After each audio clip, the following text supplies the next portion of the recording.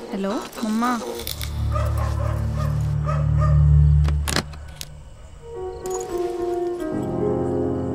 अपने सफ़र में बेफिक्र हो के हाँ हम भी चले।